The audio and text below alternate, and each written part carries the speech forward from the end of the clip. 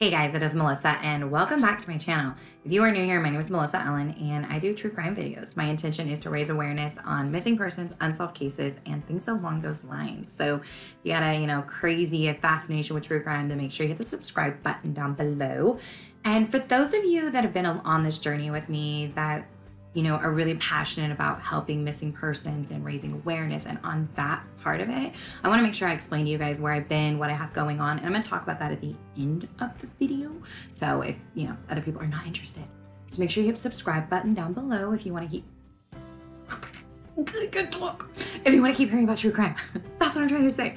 So today we're going to be talking about Bardstown, Kentucky. So if you're familiar with this case, that's possible. There is a very long series on Oxygen that was done about Bardstown. They cover a ton of unsolved cases there.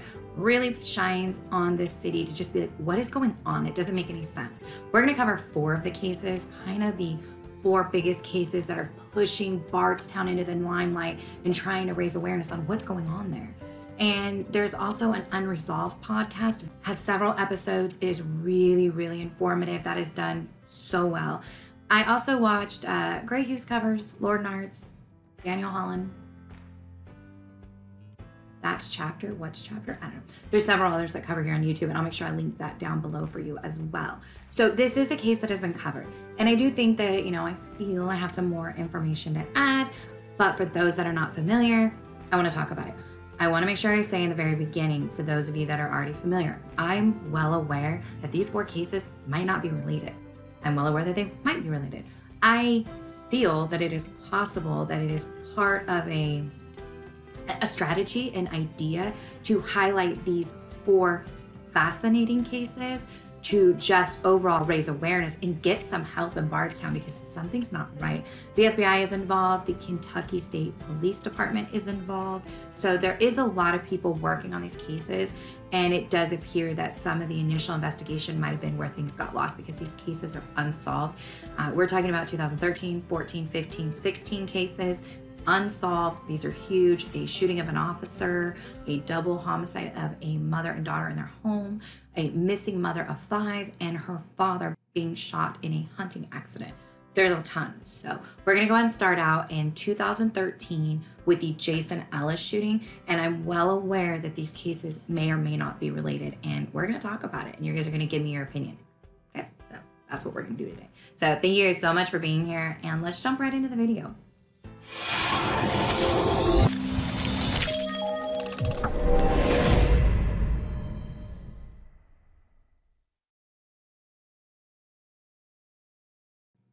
Okay, we're going to start out in 2013 with the shooting death of Officer Jason Ellis. Now, Jason Ellis was an officer in the Bardstown Police Department and he came on to the police department in 2006. Prior to that, he had lived in Cincinnati. He was uh, played baseball in high school. He played in college. He even went on to play in the minor leagues, uh, the Mustangs, the Cincinnati Reds minor league team. So he had quite a little bit of a career in the minor league baseball. In 2001, he met his wife Amy. I believe it was on Valentine's Day. And then in 2004, they decided it was time to pursue the next part of their life and they moved back to Amy's home state in Kentucky and they moved to Bardstown. And in 2006, that's when he joined the police department. Now, they do have two sons, Hunter and Parker, and I do believe that it is Hunter who does suffer from Down syndrome. I literally only have to include that because it might be relevant later, right? And it's like, you're like, why did you say that? This is why. Together, they're raising their two sons, and the typical routine is Jason was working overnight shifts at this time. He was a canine officer with his dog, Figo. He was a big part of the drug task force team. At this time, he's been on the police department for a couple years now. And so, this is what he was doing a typical routine. He worked the overnight shift, he drives home. Amy would have already put Hunter and Parker to bed. They were little kids. And then she normally would sleep on the couch. And Jason would come in the door, wake his wife up, and they would go to bed together. And unfortunately, on this night, literally an officer's wife's worst nightmare is instead of him coming through the door, there was a knock on the door. And it was letting her know Jason had been traveling home. He got off of his shift around two o'clock in the morning and he was heading home. While in his police vehicle, he's on the Bluegrass Parkway Bluegrass Parkway. This is going to come up a lot. Okay. So he's on the Bluegrass Parkway and he starts to exit 34. I'm going to make sure there's a picture of it coming up. So this has got a bend that comes around. So he gets part around the bend a little bit, like just a tiny bit, and there is debris in the roadway. There's not a picture of the debris. It seemed to me after I read later, it I thought at first it was like it was a big log, but now I'm getting the it wasn't that. It was debris. So, but there was a bunch of it in the roadway, sticks. And prior to him arriving, they found out later there was a car that went around it and left. Nothing happened to them. Maybe because they didn't stop, maybe because they went around, who knows. But it was enough that you could go around. Jason being an officer, being Jason, whatever it was, he didn't just ignore it. He stopped his police cruiser, blocked the roadway, and went and started picking up the debris to get rid of it. They figured out that he picked up some sticks or debris or whatever it was and had started to walk towards the side of the road, presumably to, you know, get rid of it. And he was shot multiple times with buckshot from a shotgun. And he was pronounced he died almost immediately. There wasn't even time. He never pulled his service revolver. There was absolutely no witnesses. So this has kind of been put together based on evidence and about 10 to 15 minutes later another vehicle drives by from what i gather it was a woman and her teenage son was driving her home Officer down, officer down, Bluefield Road. Eventually, they do ask her, like, where are you at? She's telling them she's on the Bluegrass Parkway, and she ends up helping them, okay? So, bless this woman because I've seen some comments just completely berating her, but she did the best she could. She grabbed that radio and she's yelling officer down. It's silent, nobody's responding, they're trying to figure out what's going on, and she gets police there. So, it is a very small police department. Officers arrive on scene. These are close friends of his. Um, it's said that the guy that arrived was a very close friend of his, a texting buddy, in fact. And when he arrived, they at first thought that Officer Ellis had been in some sort of an accident, maybe struck by a vehicle. Something had happened because he had just debris all over him. When they finally opened his bulletproof vest, they in fact found at that time that he had been shot. It was buckshot, so the shot sprays out. He had small bruises all over him head, chest, arm, stomach, neck, everywhere, okay? And it did kill him immediately. So police immediately are trying to figure out what happened. Based on where this parkway is and based on where the turn is, it's very kind of guessing obvious that somebody was up on the ledge. Somebody went up on the ledge, they had a shotgun, and they were aiming it right there. They that debris was put in the middle of the road. It was so obvious. This was also three o'clock in the morning. Three o'clock in the morning. Now it was a moonlight. It was stated by another officer when he arrived that it was lit up by the moon. So there was light in this area at this time because of the moonlight. But based on this information, this obviously was very premeditated. This person put this debris in the roadway, went up onto this ledge with a shotgun, aimed it down, and waited. Now, the question is were they waiting for Officer Ellis? Is that possible? It is possible. This was his normal route home. It was stated by others. There are other routes, but this absolutely was the route he normally took and the quickest way home. This is the way he was going to get home. So it could be assumed that if somebody knew when he got off work and knew his route home, absolutely. It is important to know because he was a canine officer, and of course, you want to know where's Figo. Figo wasn't with him that on that night. Officer Ellis's main car that he normally drove, which was a canine equipped car, was in the shop. It was being repainted or something like that. I don't know if how long it was out. I saw somewhere it said that that not a lot of people knew that he didn't have his car.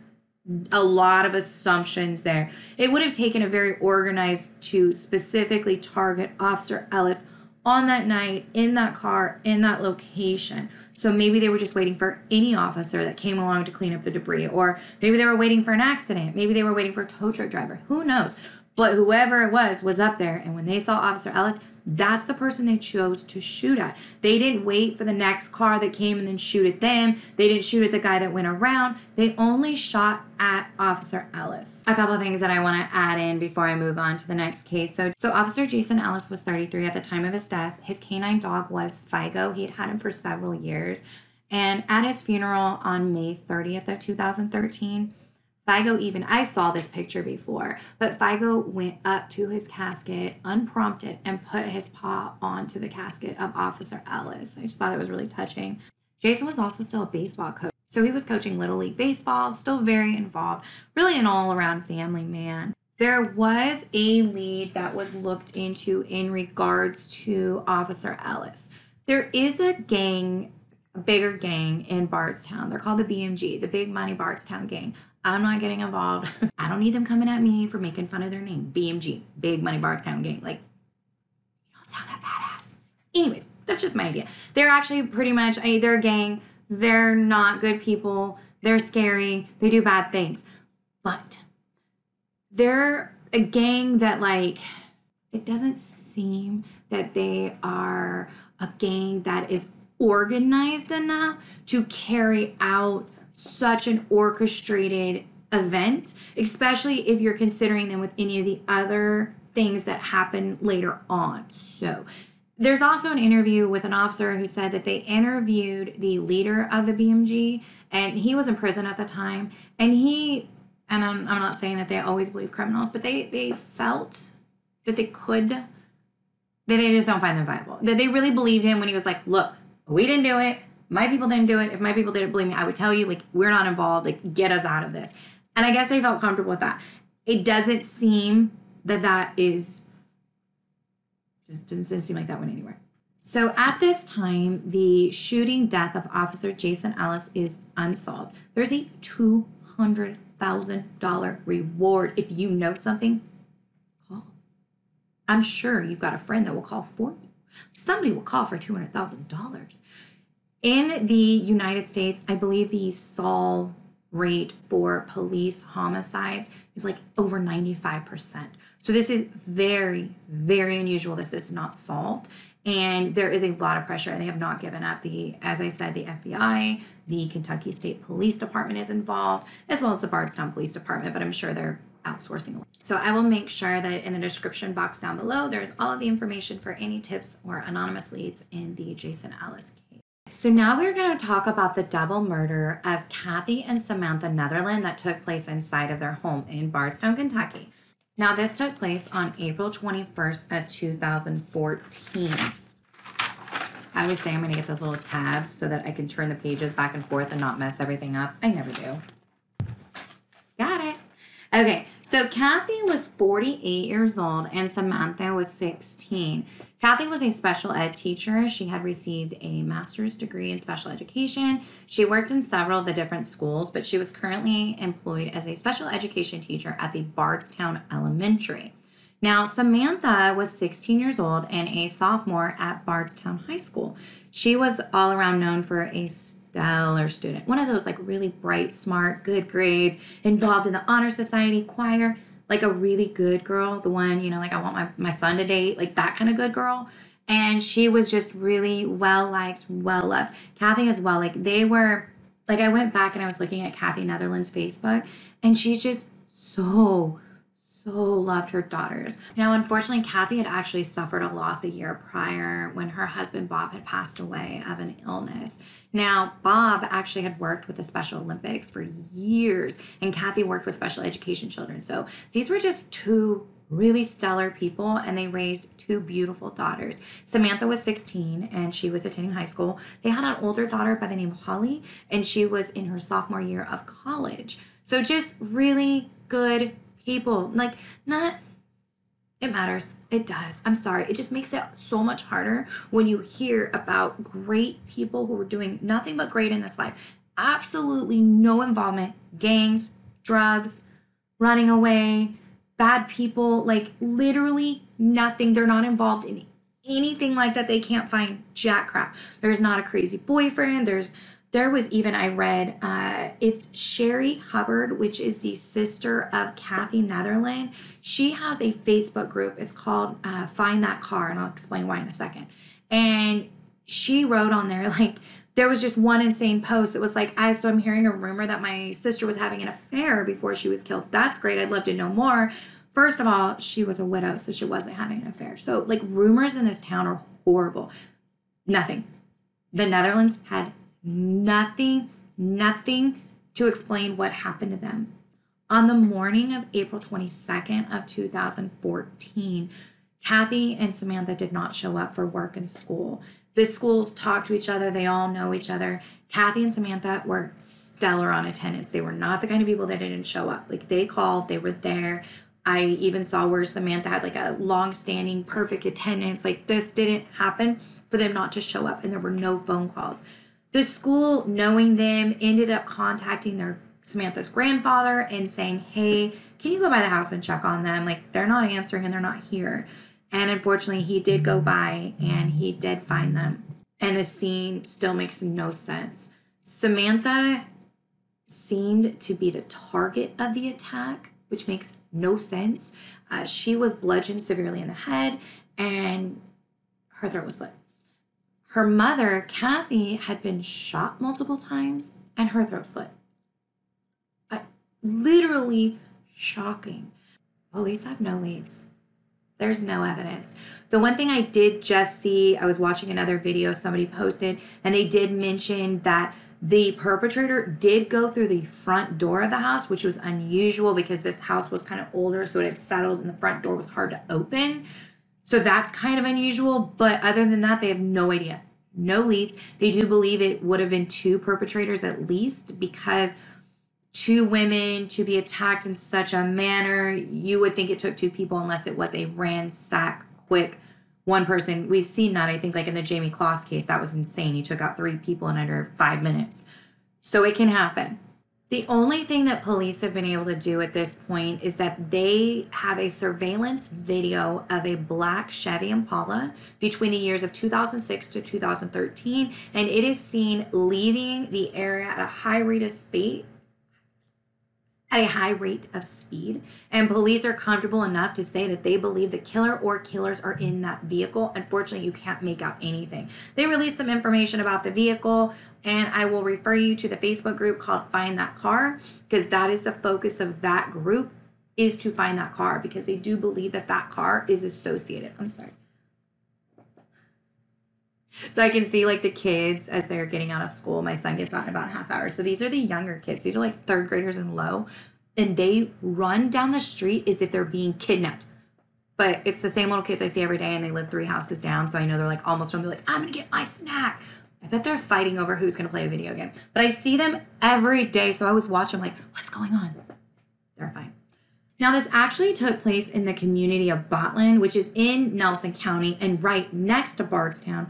But they, the reason they're able to figure out that that is probably that car is that car is seen at a high rate of speed, leaving that community and headed back towards Bardstown. And they're traveling on the US 150 at this time. So that's all they have so far. Come around. My kid is home. You wore your shirt today? Come look, look what I'm wearing. Come, here, show your shirt. Say hi. Hello. He had on a sweatshirt this morning. I didn't even notice he was wearing his shirt too. So we'll talk about the shirts at the end of the video. All right, I'm recording my video. So as you would have seen from Kathy's Facebook, Samantha was getting ready to go to prom. They were actually really excited. There's Facebook posts about it. There's text messages between the mom and the aunt talking about the prom dress. So excited. She was a really dedicated mom. And so they ended up actually doing her funeral on her prom night, and she wore her prom dress in the casket. I can't even imagine how hard that was. So at this time, I believe, and I was trying to make sure, but it looks like the reward is at $50,000 at least for the case of the Netherlands. And I encourage you, if you know anything in that area, all the information is down below. This is brutal. And there is not a chance in hell that somebody doesn't know. So there's a reward come forward. I know you're wondering why we went from the shooting death to the double homicide. And the thing is, is that it's because these are two organized, orchestrated murders, seemingly completely unrelated in a small town one year apart. There were rumors that Kathy Netherland might have taught Hunter Ellis, the son of Officer Ellis, and I believe it was Hunter. I'm sorry, I shouldn't even say a name because I'm not sure which son it was, and I just don't feel like I need to research that. But there was a rumor that she might have taught the son of Officer Ellis that has Down syndrome. That is 100% just a rumor. On the Facebook group, Find That Car, Kathy's sister said, absolutely not. She did not know Officer Ellis. She has no relation to them. They did not know. She, they, there is no relation. Samantha didn't babysit her kids, didn't babysit the kids we're going to talk about next. Like, literally, she feels that there's no relationship between Officer Ellis and Kathy Netherland. And at this point, it doesn't appear there are. But what you have is very organized crimes a year apart in a small town that has an incredibly low murder crime rate. So that's what we have so far. Now we're going to talk about the next year in 2015 when a mother of five, Crystal Rogers, vanished. Literally vanished into thin air. Okay, the disappearance of Crystal Rogers actually has a ton more info that helps the case or maybe is the reason the case didn't get solved because it jacked it all up, one or the other. But there's a lot of information. So let me give you a little bit of background. Crystal was 35 years old. She had five kids. She had two boys and three girls. Now, from what I gather, one of the boys is Eli, and he's about two and a half to three years old when this happened. And his father is is Crystal's boyfriend, Brooks Houck. Okay, so Crystal and Brooks have been dating for about three or four years, and they have a son, Eli, who's about two and a half to three years old. Crystal has four older children. Three of those children are with her ex husband, who is Keith Rogers. Technically, not her ex husband. They weren't together anymore. They were separated, but they never, like, I know this story, but they hadn't actually finished their divorce. Sue. Crystal and Brooks are living together. Crystal used to work at a gas station. She babysat occasionally, but her main job that she was doing and had been doing for a long time is she was helping Brooks out with his rental business. So he owned a bunch of rental properties. Brooks seemed to be doing pretty well off. There is in interviews, he owned his family's farm that he had bought when it got passed down. He owned all these rental companies and he would go around and maintain them and take care of them. He also had equipment out at his family's farm for maintaining these houses. So it seemed like he had his hands on a lot of different businesses and seemed to be doing pretty well for himself. So when Crystal met Brooks, her family was actually pretty good with this. The thing is, is that Crystal just didn't really have very good luck with relationships. She'd obviously been separated from her ex-husband. There is another father of the oldest child, which I believe is a girl, and it appears that it's just she didn't have good luck with men, okay? So she meets Brooks. He's doing well financially. He's going to provide for her, and they are going to run this business, and like life seems good. After going through everything, I'm going to tell you right now, I didn't find that there was a lot of massive issues between Brooks and Crystal, even between the friends, even between the family. What I gathered is that Brooks, okay, he's in his 30s. He doesn't have any other children. He has money. He's got these businesses. He seems like he's probably a little rigid. The fights that they were having had to do with him being more attentive and loving to their son and kind of treating the older kids disrespectful. We also have teenage daughters. There was arguments over cell phones. There just seemed to be. I totally like literally see this scenario and he might have been a total asshole. She might have been, you know, unwilling to help him out. Who knows what the situation was? What I can say is that it that actually didn't seem like it was massive. Like it, it just seemed like something was starting to become an issue. They probably were going to end up breaking up over this. He makes a couple remarks when he's interviewed in the interrogation where, like, they're talking about does Crystal ever disappear for days at a time? And he says something about she goes to these like fantasy parties with her friends and he watches the kids. And the way he says it, he's like, oh, well, I'm good enough to watch the kids, but you know, when things go down, they're going to throw me under the bus. It was like a weird inserted statement randomly So it's very clear that there were some issues. She he also makes reference to her sister and friend and refers to them he's referring to another lady as being a mature woman, not like them.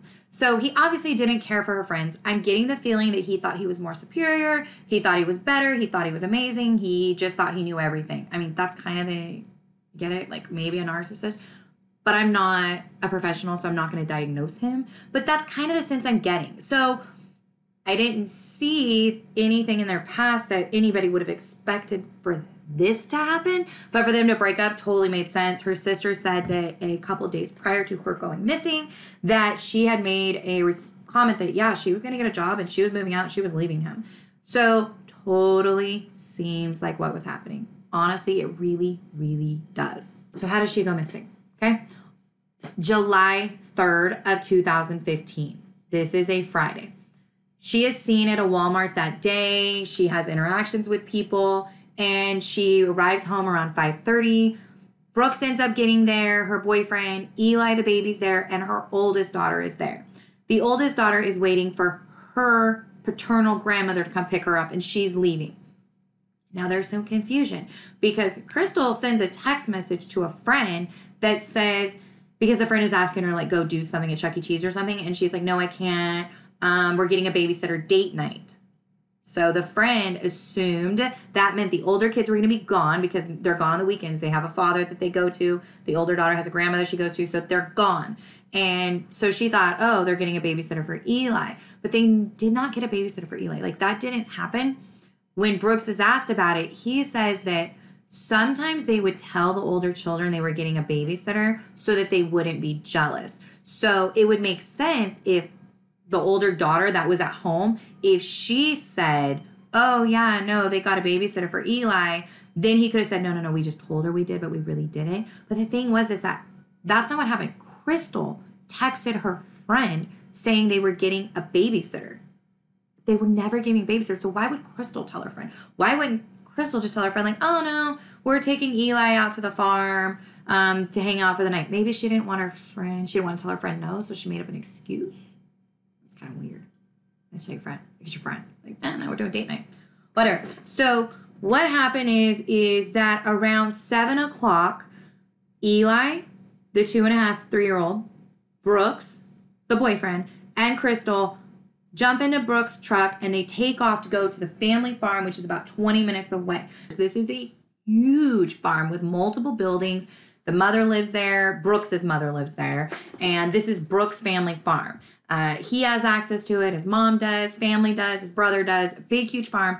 It's got lakes. It's got a ton. So this is somewhere that they go out to and like they can drive down the road and go out to the lake, go to the barn. They don't always stop at the main house. So on this night, according to Brooks, the, the plan was to go out to the farm and just kind of play around out there. They were gonna feed the cows some sweet feed, which is like they just put in a big old bin, they feed the cows. Then they were going to take a walk out to the lake area. The thing that is interesting to know is they did not get out there until about 7:20 p.m. This is according to surveillance that is on at the beginning of the farm from the Brooks aunt's home. There's multiple houses. So, according to surveillance, they pulled in around 7:20. They're there for about 20 30 minutes. Brooks then leaves gets to the inn, stops, turns around, and comes back. According to Brooks, when the investigators asked him during his interrogation, you know, why did you leave? Oh, I left and because I was gonna go get more feed at the feed store at the tractor supply, but then after I started driving, I realized they're probably closed, and so I turned around and came back. Unimportant, not important, who knows? The thing to know is that that's weird. He goes to the tractor supply store. He knows this store. So, like, he should have known whether or not they were open. Okay, but maybe not. You just randomly want feed, like you got when you go before, or don't you have feed? I mean, they still fed the cows. So, what did he need the feed right then, or was he just like, hey, I should go get it? Anyways, so he says that's what he did, and then he came back and they're there and he says that they went on a walk down the lake and back. Now, according to him, this walk to the lake is almost a mile and then a walk back. That's kind of a lot for a two and a half, three year old. But I know that some kids are that used to being outdoors that they would go that far. It's also a lot considering that by now this is like nine o'clock at night. And according to her mother, Crystal's mother, it was raining that night too. But I, I don't know. So that, that's weird. But that being said, we're outdoorsy. We used to live up in the mountains. This would be totally normal to us. We wouldn't care. We would be sitting out at nine o'clock at night, climbing up the trees like it didn't matter. So I get it. Maybe all things are possible. So according to Brooks, uh, they leave the farm. Uh, he thought it was closer to 11. It ends up it's closer to like 11:30, and they end up getting home close to midnight. And according to him, he can't recall if they ate, when they ate. He can't really remember what else they did out there. At some point in time, a fire was burned that night, but during the interrogation, the thing is, he can't remember anything.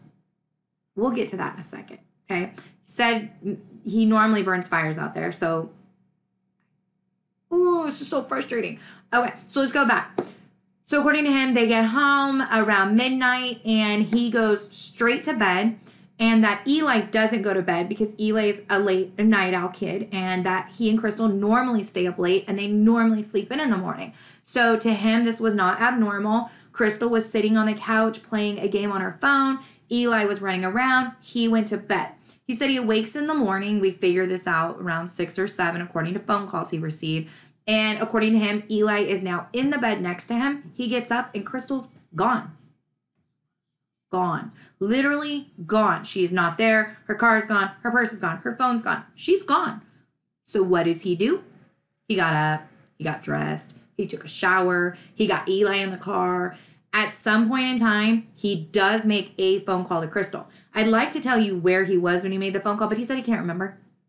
He just knows at some point in time he called her that day. Just some time that morning he called her. I'm sure there are phone records, but I have not seen the actual time of any phone calls he made to her. I just know from the interrogations that he said he called her sometime that morning.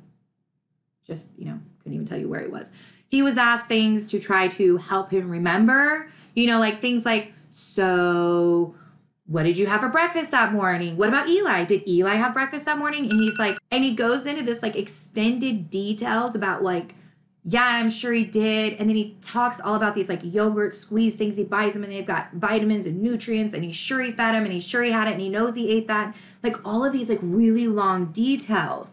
And then they're like, okay, so cool. Where were you when you called Crystal? I don't remember. His interview was an hour and 45 minutes. It starts out with him spending five full minutes in detail explaining all of these business contacts, his properties, his location, the family farm. He is breaking it down. Like he came in prepared. Uh, he's going to tell him who his CPA is. He's going to tell him anything he wants to know. So it seems like, okay, cool.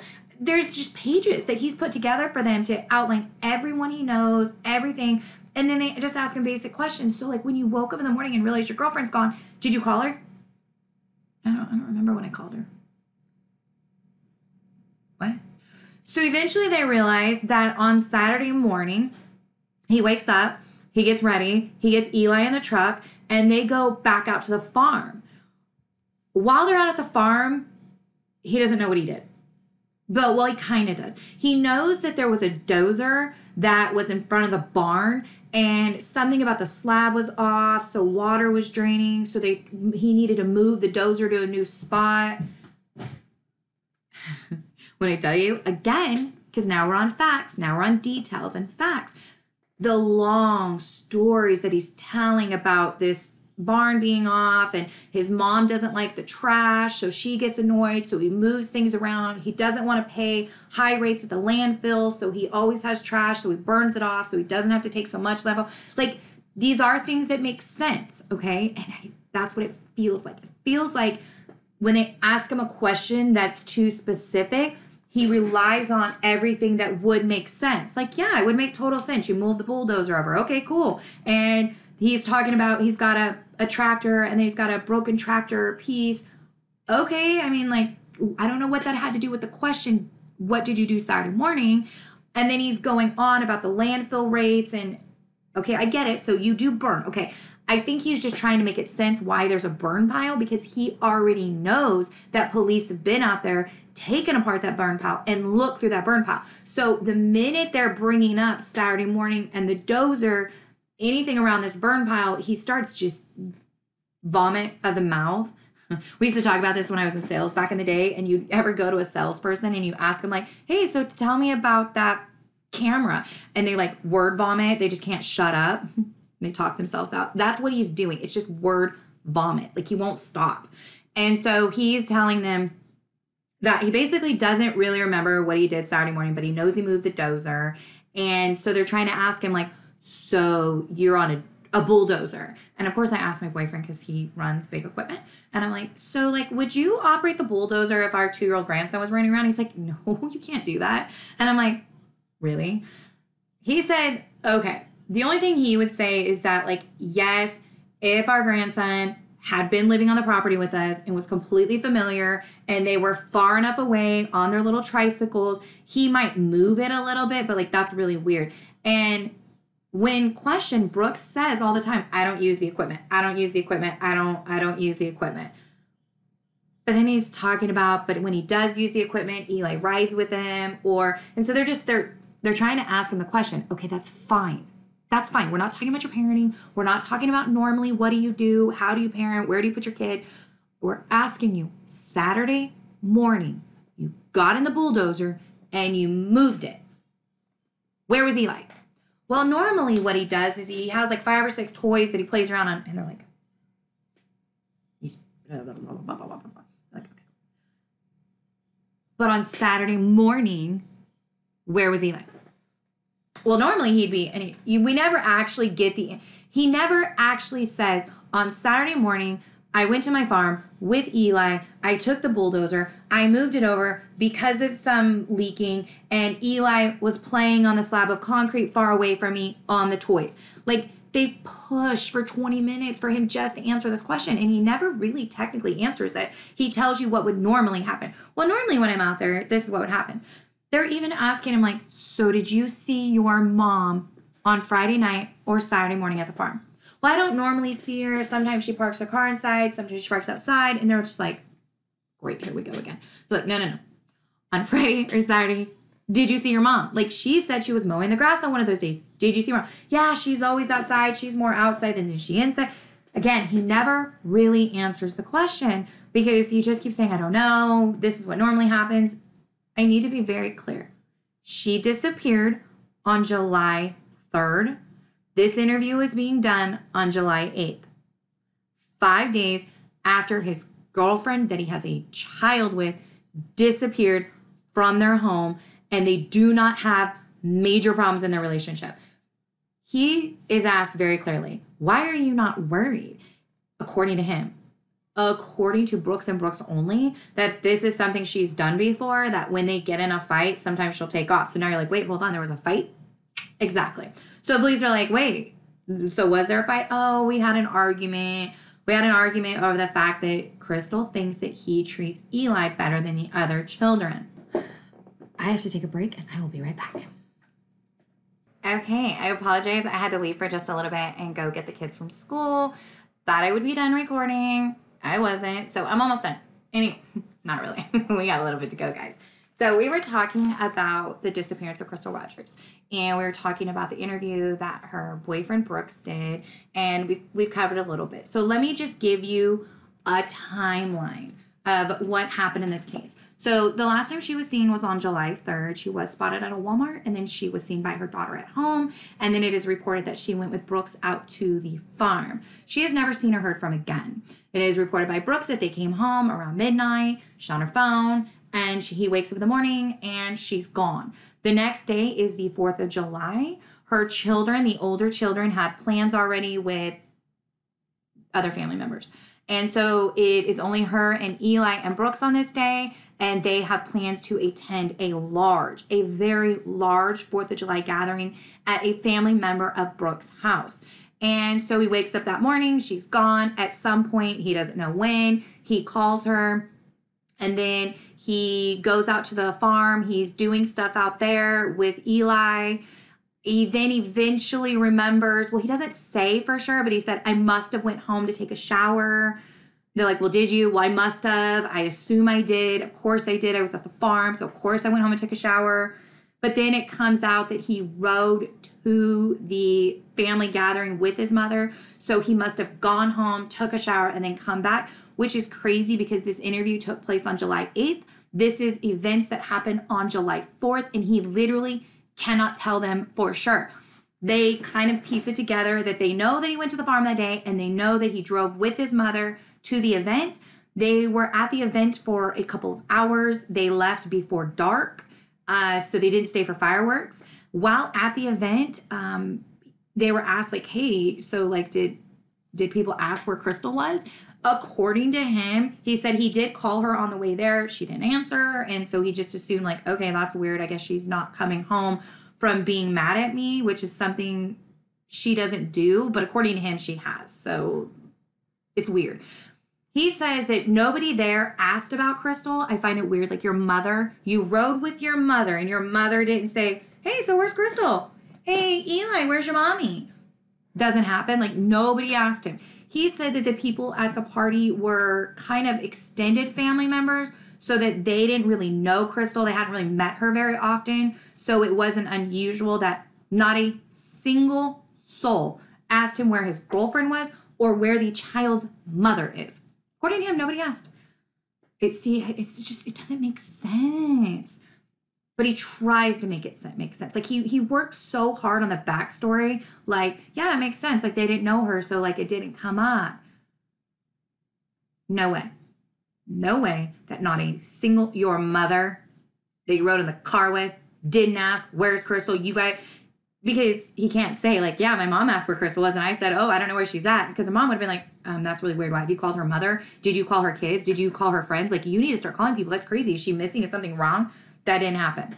And then, according to him, he goes home, doesn't do anything, um, is just at home. He mentions that his neighbor May probably came by because that's what he does, but he doesn't say he did for sure because he doesn't know. He cannot remember anything. He doesn't remember when he got home. He doesn't remember what they had for dinner. And the detective points it out really good. He said, Look, it's not weird to not remember what time you had dinner or maybe not to remember exactly what you ate.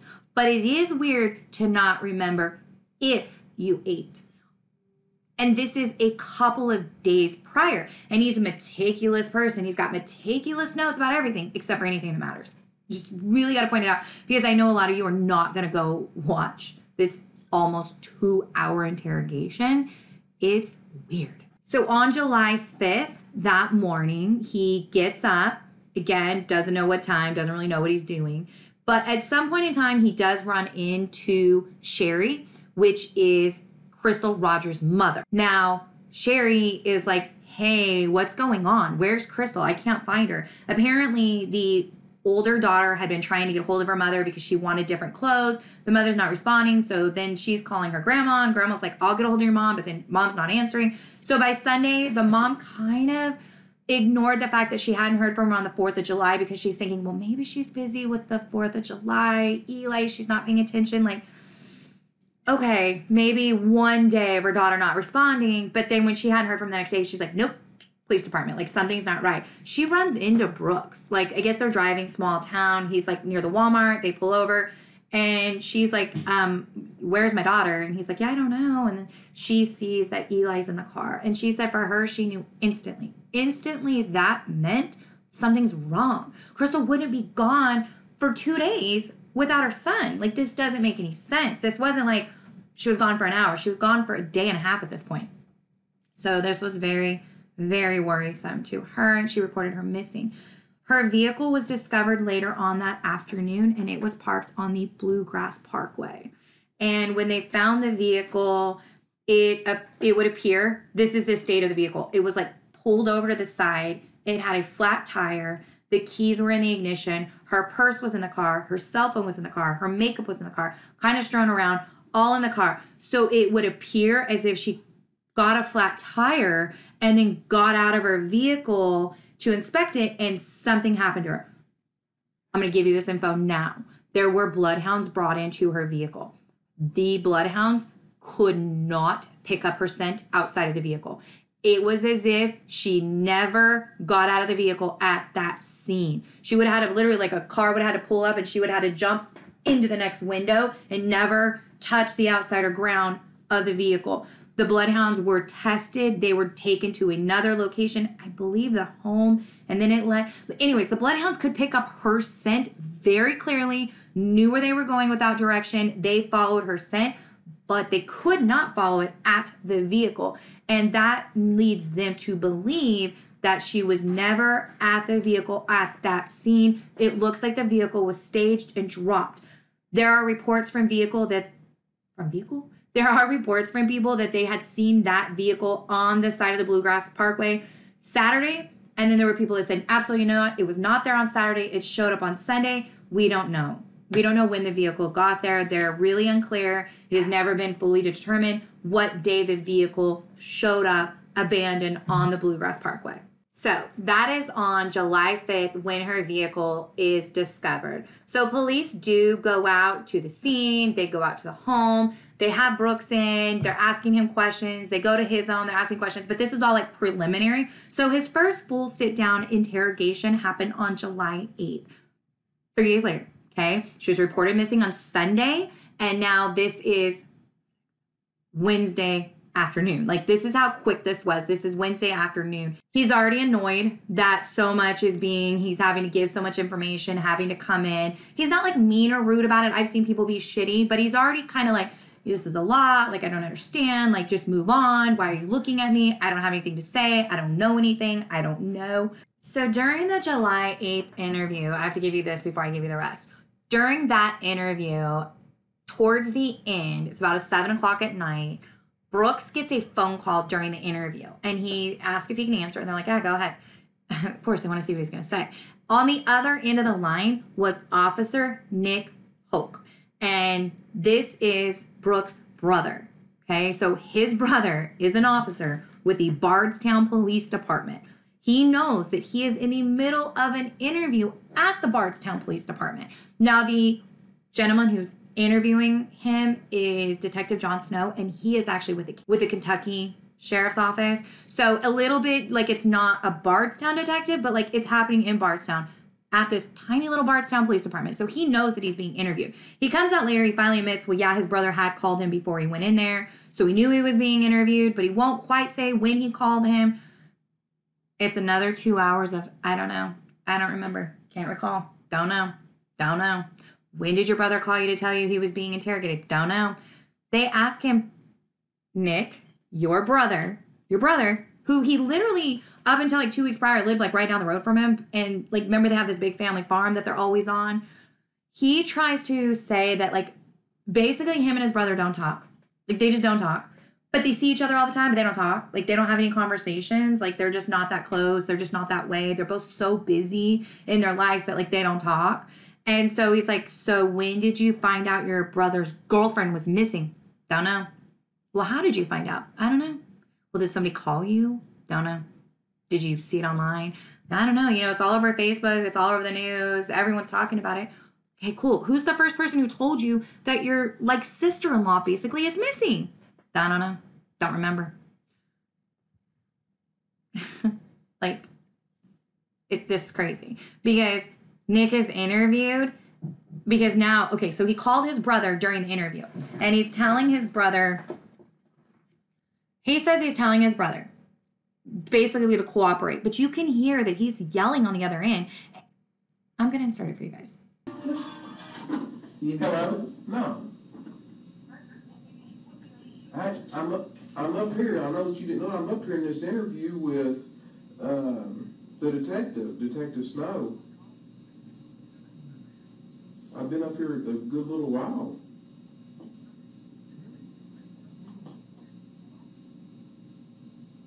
I'm, I'm filling out this, uh, this statement here and everything.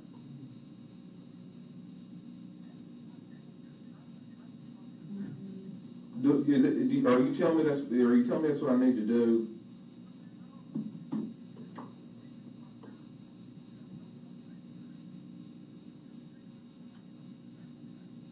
I know, I, I know, I don't, I know, I, I know, I know that. But the way that I look at it is, I, I'm innocent, I ain't done nothing wrong, what, you know. Told me innocent people have got jammed up, but if you're telling me to leave, I'll get up and leave. If you want me, if you want me to,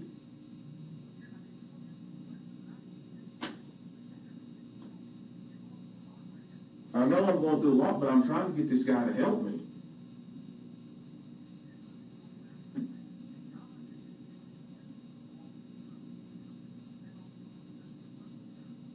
I don't think she, I don't think she's ran off with some other guy. I don't, I don't believe that.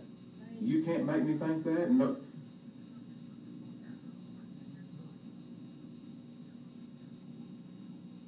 Yeah, I mean, I mean, so, I mean, so, so do I. I'll do exactly what you're telling me to do right now. Do you want me to get up and leave? Man, I don't think these guys, I don't think, I don't think these people are probably vindictive just to, to skin me for no reason. Man, this is not their family. This is not.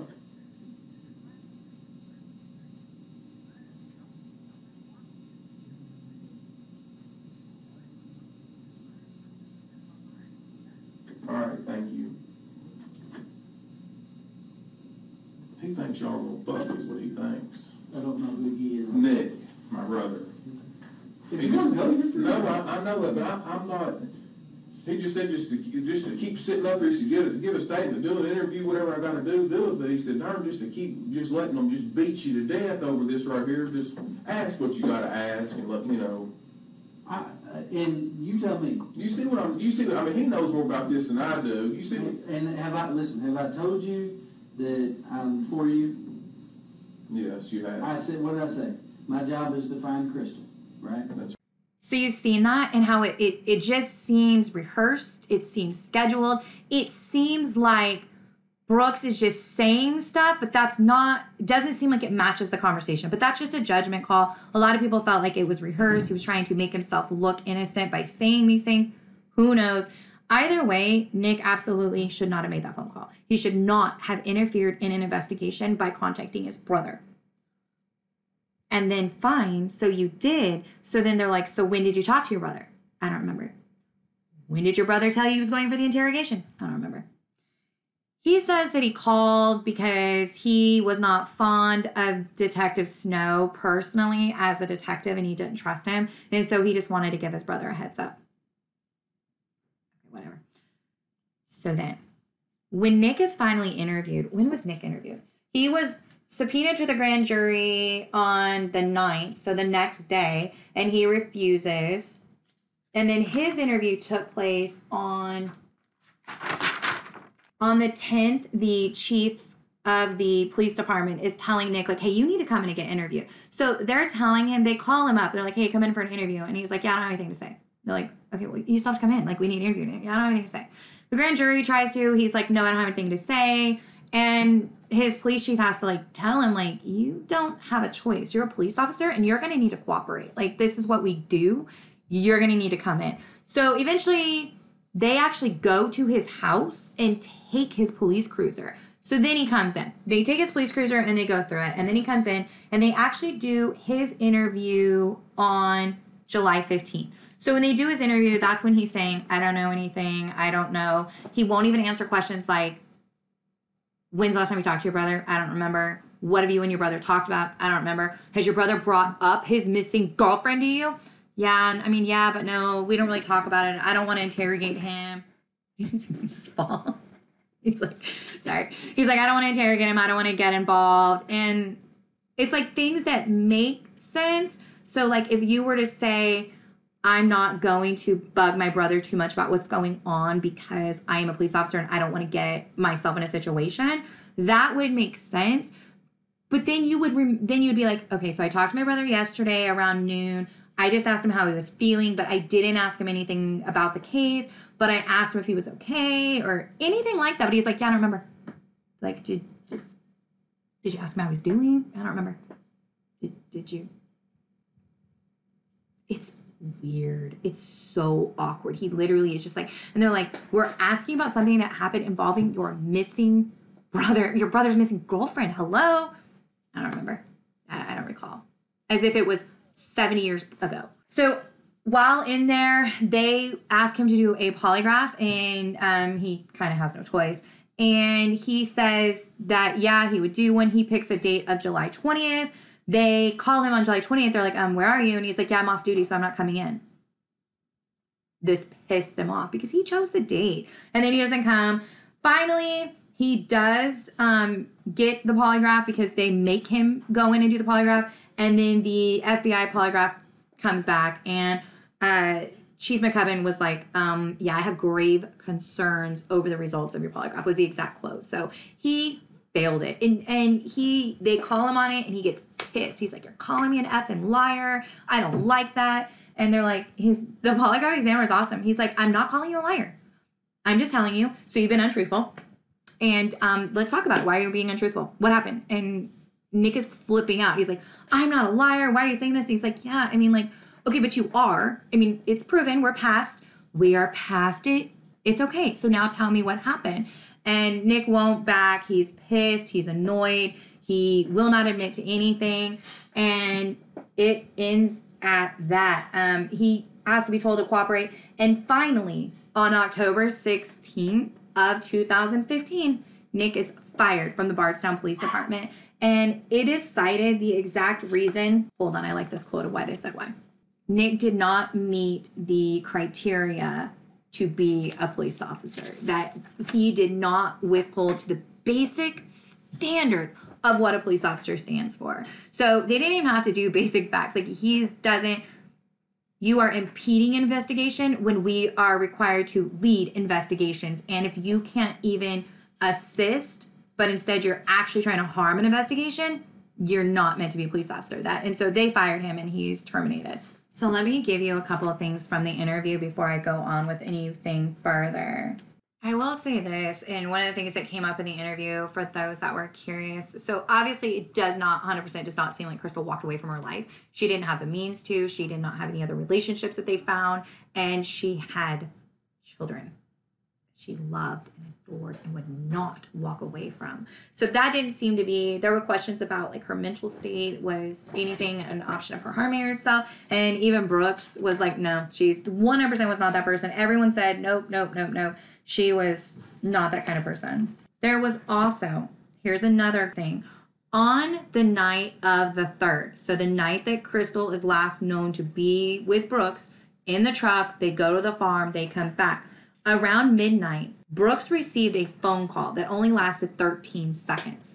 And they had to figure out who the phone call was from because, like, I don't know. I don't remember. Like, you don't remember getting a phone call at midnight on the night of the fourth. You don't remember a phone call at midnight. No, I don't remember. I, I'm a very busy person. So they figured out that it was a guy by the name of Steve Lawson. He calls Steve Lawson while in the interrogation. He's like, hey, Steve, talks to him for a second. He's like, hey, by the way, I was trying to remember. Oh, why did you call me Friday night? And he's like, oh, yeah, I remember why I called you. I wanted those phone numbers for those houses because remember he does rental houses.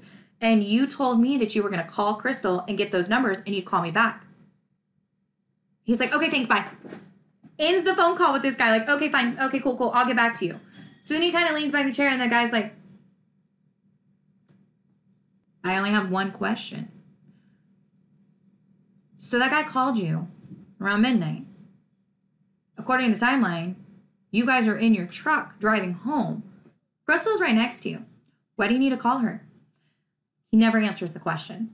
He goes into, he doesn't say specific. He says, well, usually well, Crystal, you know, I mean, normally she wouldn't want to take a phone call that late. I wouldn't want to, you know, bother her. You know, sometimes Eli goes to sleep in the truck, and, you know, sometimes I don't even look at the phone sometimes. I probably just answered it without thinking. And, you know, normally, usually, this is how, well, do you get where I'm going? Like, he never actually answers. He gives all of these excuses and reasons around, but never actually answers the question, like, oh, I don't want to talk to that guy that night, or uh, Crystal was asleep, or Crystal doesn't like him or nothing. She, he's just like, usually she doesn't want to deal with it. But if she's literally right there in the car next to you, why would you make the phrase, I'm gonna have to call Crystal to get those numbers and I'll get back to you?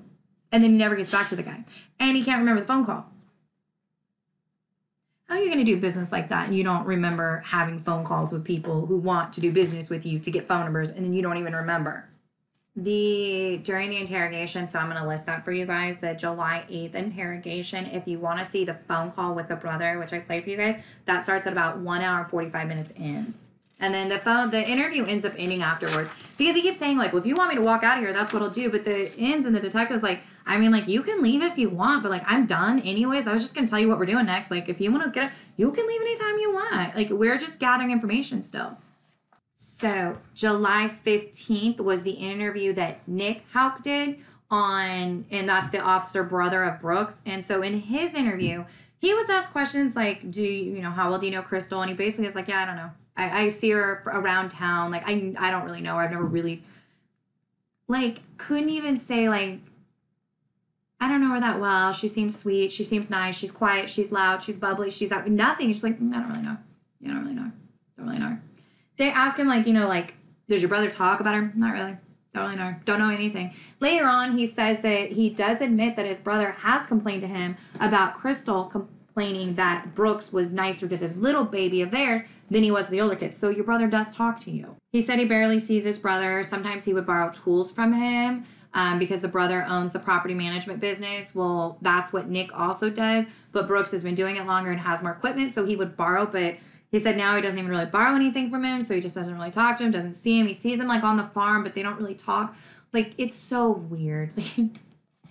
he couldn't even recall the last time he had ever seen Crystal, couldn't recall when he found out she was missing, doesn't talk to anybody about the fact that she's missing, says that he doesn't find it weird that his brother Brooks didn't call him, even though he works for the Bardstown Police Department as a police officer, that he didn't find it weird that his brother wouldn't call him to say, like, hey, my girlfriend's missing, what should I do? He's like, oh no, that's no. Don't really talk.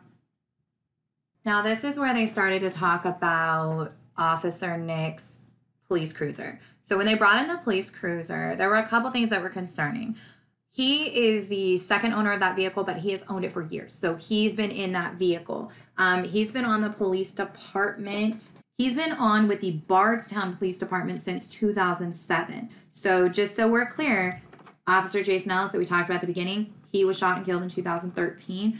Officer Nick and Officer Jason both worked that night shift in 2013 when this happened. So I know that because during the interrogation, he makes mention that he used to be on the 4 to 2 a.m. shift with Officer Jason Ellis. They ask him very clearly, Officer Nick, like, so hey, do you and your brother meet at the farm? And he's like, no, we just run into each other. We don't really set up. And the reason they get to this because on July 8th, when Brooks had that interview and then his brother called him, as soon as they were done with the interview, him and his brother met at the farm. They say, no, no, we didn't. I don't remember seeing him. I don't know. I don't remember. I don't, I don't know. I don't remember what I was doing there. I don't remember what he did. I don't remember going there. This is like a week and a half prior. He's like, I don't remember. I don't remember going there. I don't. I don't remember anything. I, sorry. There's video camera of literally Brooks pulls up, Nick pulls up behind him, and they drive onto the farm together. At like in 20? Sorry, I don't have the time they arrived. They arrive at the farm at the same time and follow each other in, and then they are both seen leaving at 11:30. In fact, it shows Officer Nick pull up, stop at the inn, back up, and then both cars leave together. So like no, that could be a coincidence, but like your cars arrived together and left together. You met each other out there. And so they're like, Did you meet? No. Just just must have been by accident. Coincidence. Well, do you remember seeing him? No. Do you remember being there? No. I don't really remember going. I don't remember what I did. Did you see your mom? I don't know. What were you doing out there? I don't know. I, it, absolutely freaking crazy. Remember, this interview's on July 15th. This was on July 8th. Don't know. And they're like, police are like, this bullshit. Like, something's wrong here. How do you not know? Neither one of them could really give an answer what they were doing out there, why they met each other, what they were doing. They absolutely were just like, don't know, don't remember. Because you can't argue, say someone's lying, and they just say, I don't remember. Two more things about Officer Nick. So on July 10th, okay, so two days after the interview where they had met out at the farm, Keith Rogers, which is Crystal's estranged ex husband, estranged, not strange, estranged, like meaning they're separated but not legally divorced. So Keith Rogers is at Brooks and Crystal's home on July 10th. He is there to get clothing for his children because now obviously their mother is missing. So he's over there and he's getting all of these clothes. And he said that Brooks got a phone call from his brother Nick, looked at his mother. So Brooks's mother was there at the house too, looked at his and said, We have to go. Nick needs us. They were seen by a neighbor moving items out to the back of Nick's police cruiser and putting them into Brooks's mother's vehicle or a vehicle. When asked about this, I don't know. They're like, Well, did you ever call your brother? I don't think so. I don't know. Did your mother, did you ever call your mother you needed help? I don't know. I don't think so. They're like, Did you need help with anything? I don't think so. I don't remember. Not that I recall. I, I don't know. Well, did you ever take anything out of your police cruiser and put it into your mother? Not that I recall. Not that I recall. I don't recall. It's so bad. It's like what was that um what was that case where they were interviewed and they pled the fifth? I think it was like 50 times in a row or something. What is my brain thinking of right now? Something political. I don't remember. Now, in the back of his police cruiser, there were a couple things to be concerned. They went through the vehicle. The first thing is there's a missing fire extinguisher. They don't know if that means anything. Uh, it could have been left at a scene, but this is a really small town. Like when they're talking to him about, hey, is there any chance you could have like, um, you know, blood or bodily fluids in your trunk? And he's like, absolutely not. They're like, you don't haul evidence. He's like, not really. And they're like, when's the last time anything could have gotten into the back of your trunk? And he's like, maybe at an accident scene, but like that's been a long time. So this isn't a police department that is dealing with accidents and suspects on a daily basis. Little less crime is happening. So he was pretty sure that there's not a chance in the world that he would have any sort of biological material in his trunk. He also could not explain why his fire extinguisher was missing. He was pretty sure that it was in there. I don't know for sure, but there was a blanket in there. Now, this is a blanket that he says very, very clearly. Remember, Mr. I don't know? He got this blanket from the barn on his mother's property, but I got it after the disappearance of Crystal. I, I know for sure I got it after Crystal was reported missing. I got that blanket. Okay, well, that's not true because they go back and they're tracing it back. And he said he was using the blanket to move a couple weeks prior. And that was because he was moving from the house that was near his brother to a new house. So they're like, well, if you were moving a couple weeks ago, then did you get the blanket a couple weeks ago? Oh, I totally doesn't remember anymore. Can't remember. Can't remember when I got the blanket. I don't know. I don't know. He said that he had the blanket. There was a stack of blankets at in this barn. He picked one of them, took that blanket to his house to wrap like your TV and stuff in while moving in his truck. And then he put the blanket back in his police cruiser to take back to the barn. What? You don't have blankets at home? But maybe he called it a moving blanket. So maybe it was one of those really thick blankets you have out in a barn. Um, so, okay, maybe, but so weird. And I wouldn't really care except for it was determined there is bodily fluids on that blanket and in his trunk. The only thing I can figure out, guys, and I tried to dig in because I didn't want to say I don't know on this one because it's so important. But please, if you know a little more than I do, would you comment below? What I gathered is that the material is some sort of bodily fluid. So we could be talking urine, vomit, blood, all kinds of anything, okay? They know that it is some sort of fluid and they know that it is in the trunk and that it is on the blanket and that the what is on the trunk and what is on the blanket match each other, but that that's all they know. They, they can't determine where it came from, whose it is, or anything like that. And that is the only information I could find. But of course, he's like, no, not possible. Don't know. I don't know. At the time that they interviewed him, I don't think that they knew anything further than that there was some material because that's all they say. They say that they sprayed it with luminol, it lit up like Chernobyl, and why? And he's like, I don't know. At this point, I think as police officers and in an officer's trunk, I don't know that they knew for sure that I think they kind of assumed it was probably something to do with police activity. And I think they expected him to say blah, blah, blah, but he's just like, I don't know. I think that's what was worse. Rather than him saying, like, yeah, I handle materials all the time. There's all kinds of stuff in my trunk. It could be anything. I don't know. I don't know. he did definitely did not need to be a police officer. I also thought I was in interesting by the way they ask him like hey you know do you have your phone? Do you mind if we copy it? And he's like yeah i don't care. And they're like okay cool can we have it? He's like i left it at home. You left your cell phone at home? You left your cell phone at home. Who leaves their cell phone at home? But anyways that was just a side note. So at this point it literally went nowhere. There is brooks Houck has been named. So on October 16th, when they announced that they had fired Officer Nick Houck from the police department, I say Houck and Hook, it's Houck. And when he was fired, they named Brooks as the main suspect in Crystal Rogers' disappearance, and they made it very clear that they do not believe she's alive.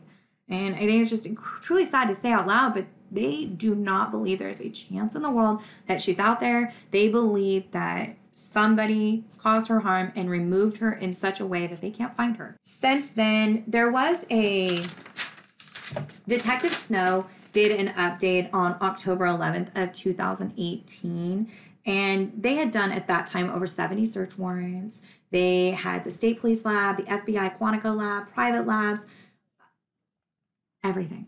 They had assisted when the oxygen series came out, when they, you know, tried to pull more evidence from the vehicle, just trying to be helpful. They took that evidence, they tested it. The police department has went through multiple changes in Bardstown. I believe four different, at least four different police chiefs. Um, at least eight officers stepped down from the police department pretty quickly after this happened it's been a big stir up. And so they've had these cases that they're trying to figure out like what is going on. So, two big things happened in 2016 trying to advance this case. The Whitesides are members of Brooks' family, and I don't want to get too far into them. But basically, it came out later that there was a possibility that on the night of the third, when Crystal went missing and they were out at the farm, that there might have been a white car or truck parked next to the barn in a weird spot. They did realize that um, the grandmother owned a Buick similar, so they wanted to bring the grandmother in to question her. She pled the fifth.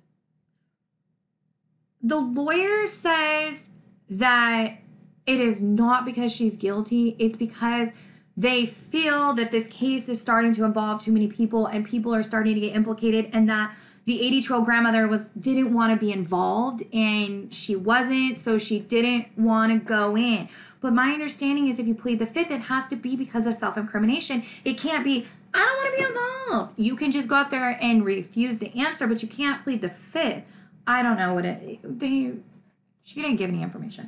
Okay. They wanted to know about the vehicle. It had recently been sold. They're saying that it was possibly cleaned and sold and used for transportation of Crystal Rogers' body or something belonging to her. Nothing ever came from that. They have done multiple search warrants. There is the belief, I heard this on one of the series, that they might have had the ability to make their own weapons um, or ammunition. Uh, this old farm, old equipment. They've got a lot. These are hunters and farmers, and they have access to a lot of this information or a lot of these tools. So they were trying to, they've done all these search warrants trying to get more information. They've searched her house, they've searched Nick's house, Brooks' house, Brooks' mom's house. All everything has been searched. They've searched and searched and searched. There are burn piles on this site, and the bloodhounds did hit on this burn pile. They've been unable to find anything. I don't know. So it makes me wonder to be like really brutal. Um, based on the equipment that he did have there, there's a lot that could have been done to get rid of her body and bring it down to a very small amount of body. And I know they, you know, they could try to hide that in the dirt and the soil and the location and the property. Um, but it's she's gonna be found then even if it is down to nothing left, there's always something. And so they're not giving up. They're searching. They keep going out there. They keep trying to find her. The biggest push in finding Crystal Rogers was her father, Tommy Ballard. Tommy was relentless. He did not give up on his daughter. There were billboards everywhere, signs in everyone's yard, solve these murders, help find Crystal. People wanted Crystal found. Her dad was on the TV. He really, really, really was the driving force in finding out what happened to Crystal. And he was not giving up. A year later, on, I know this is like every year, on November 19th of 2016, Tommy Ballard took his 11 year old grandson out onto their private property to go hunting. This is something they've done. This is his private property, or the family's private property. According to the family, they've never seen any other trespassers on their property. And they went out to go shooting, and Tommy was shot directly in the chest. According to investigators, they feel that this shot was on the money. That this was a skilled marksman shot based on the distance and location. I don't know if that's fact or if that's an opinion. There also is an opinion that there appears to be a brush area off Bluegrass Parkway where you can see in and where somebody could have continuously been going by to see if Tommy was on the property and could have easily pulled over and shot him from that location. This was initially considered a hunting accident. This happens, unfortunately. However, in this case, no one ever came forward. They could have not came forward because they were on private property and they got scared, especially if they know about this case. Maybe they got scared. But this would be like they would have been the perfect time to come forward in an accidental shooting because this would have been the time where people would have been happy to accept, not happy that he's gone, but that's not awful, happy to allow this to be an accidental shooting because what they don't want it to be is what they think that it is. And they absolutely feel that he was murdered.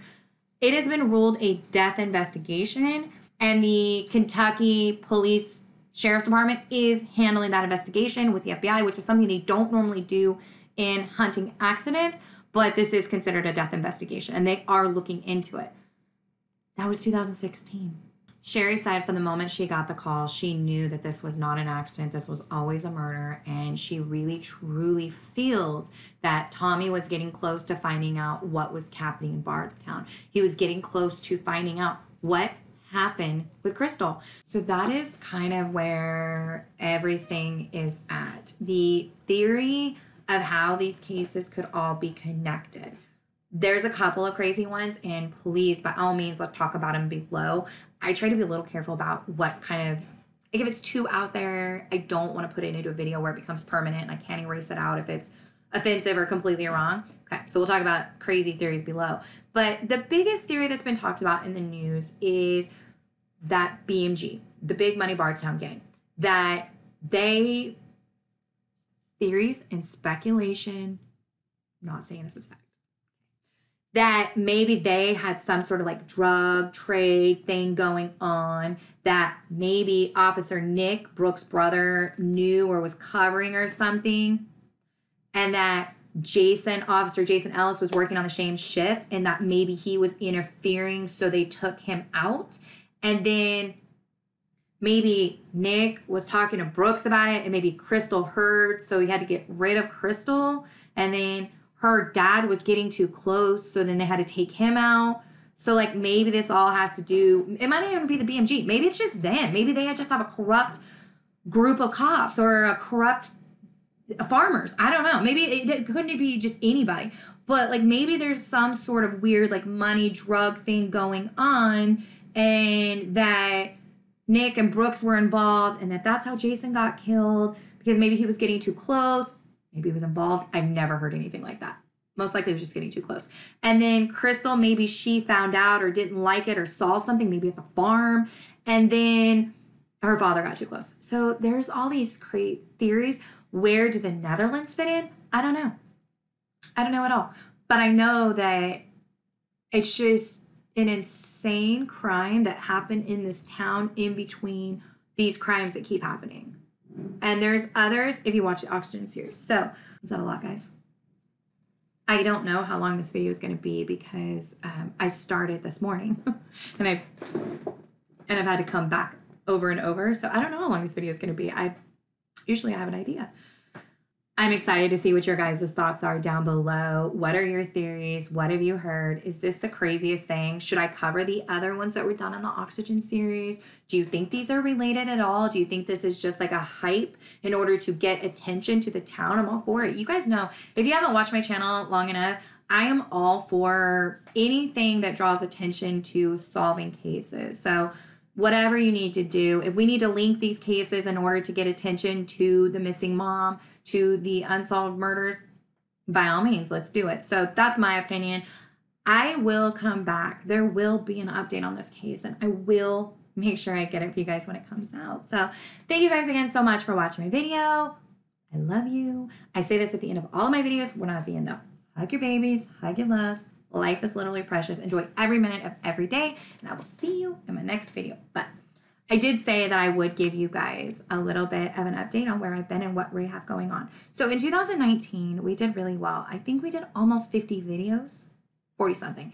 Uh, we had a lot of success. There's like over 5,000 of you guys have joined my channel. I appreciate you. Those that have followed me know that my intention 100% is to try to do some sort of nonprofit, um, maybe join one, maybe start one. Maybe I don't know yet, but that's my plan and that's what I'm working on. And I've been really absent for the last couple months, and I just want to apologize to you guys. I appreciate everything you guys do for me, and I love the people that are just here for the salacious, crazy cases and just want to hear. I'm all for that too. And then I really appreciate my people that want the same thing. They want to help on these cases. They want to like try to you know bring awareness and i and i love that. And so i for those people that kind of want to understand what's been going on if you follow me on social media i've posted it um, but in the end of last year my mother became really sick.